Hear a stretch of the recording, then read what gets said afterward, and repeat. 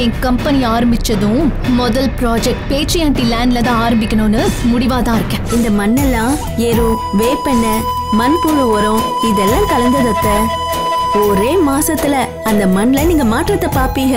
அதுக்கு நான் பொறுப்பத்த. எவ்வளவு சீக்கிரம் முடியுமோ அவ்வளவு சீக்கிரம் பேச்சியத்த நிலம் என் கைக்கு வரணும்.